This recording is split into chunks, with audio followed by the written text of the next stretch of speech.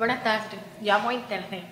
En la última década, el Internet lo ha cambiado la vida porque los cinco fundamentales son, primero, el entretenimiento y ocio, y segundo, la facilidad de acceso a información, y tres, tiene la formación académica, y la cuarta es la comodidad, y la quinta es la relación interpersonal. Así por eso amo Internet. Chao.